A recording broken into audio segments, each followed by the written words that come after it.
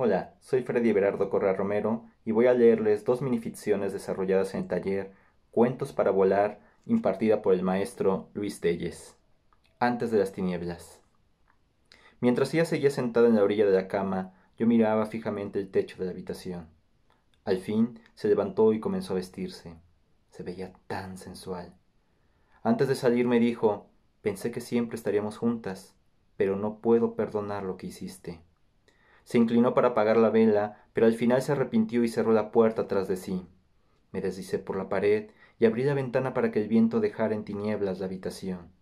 Quise gritarle que no me abandonara, pero las sombras no tenemos voz. Descubrimiento histórico. El canoso responsable de la biblioteca episcopal no cabía de emoción. Al fin podría completar la misión de su vida. Suspiró hondo, se acomodó las gruesas gafas y abrió con sus artríticas manos la Biblia de finales del siglo XVI, perteneciente a Sor Martina de Linares, adorada por muchos como la santa patrona de los músicos. Sus ojos se llenaron de lágrimas al revisar los salmos y cantos marcados por aquella mártir. Al llegar al libro del Cantar de los Cantares, encontró un pedazo de papel mutilado. En él se alcanzaba a leer No te atormenten más esas cavilaciones tiranas, yo no dudo que te quiero. Mi amor por Dios está en el cielo, pero mi cuerpo líquido está y seguiré estando entre tus manos.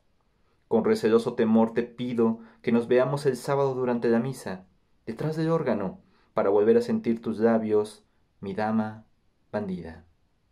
Muchas gracias a la por abrir este espacio de creación.